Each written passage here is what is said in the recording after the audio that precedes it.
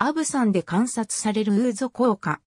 ウーゾ効果、または自然乳化とは、アニスで香りをつけたリキュールやスピリッツを水で割ったとき、乳白色の水中油滴型エマルションが生成する現象である。この効果が観察される飲料にはウーゾをはじめとして、パスティス、ラク、アラック、サンブーカ、アブ酸がある。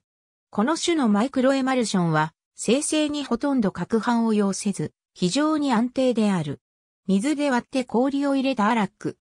ウーゾ効果が発生するのは、エタノールのように水と混和する溶媒に、アネトールのような強素水性の精油を溶解させ、さらに少量の水を加えることで、エタノール濃度を低下させた時である。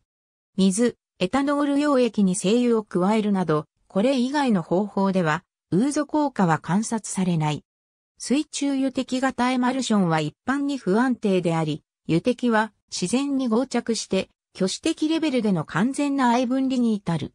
微量の海面活性剤を加えるか、高い先端速度を与えることで、油滴は安定化する。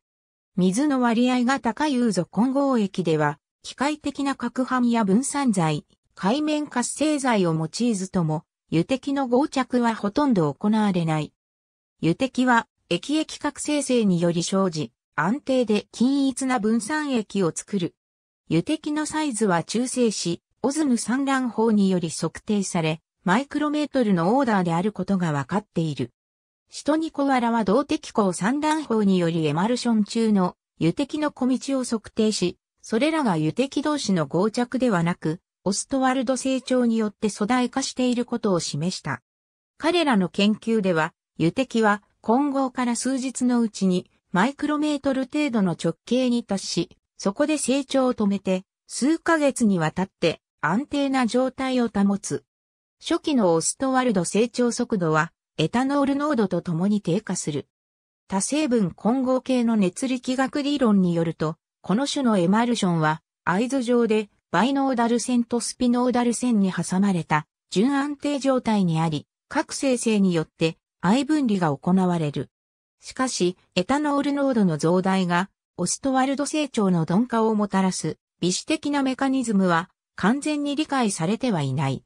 メディアを再生するアルコール度数75.5%のエバークリアとグレープフルーツ側の精油からなる溶液に水を注ぐ様子の動画。エマルションは工業的な用途が広い。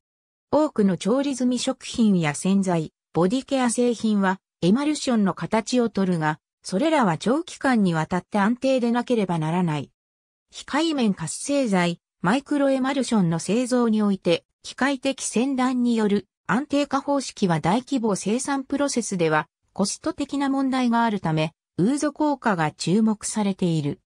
ギラテックスやシリコーンエマルション、生分解性高分子ナノカプセルなど多様な分散液がウーゾ効果を利用して作成されているが、戦術の通りその詳細なメカニズムは分かっていない。ウィキメディアコモンズには、ウーゾ効果に関するカテゴリーがあります。ありがとうございます。